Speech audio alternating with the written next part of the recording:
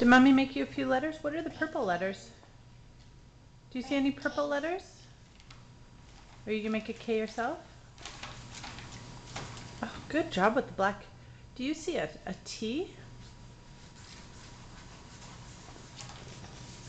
No. No? I see. Well, do you see a J? Day. J? Yeah, and what about a B? Yeah, it's a pink B. Do you see a V? Oh my. Oh my. Oh my. Is it mouillé? It's a physics. It's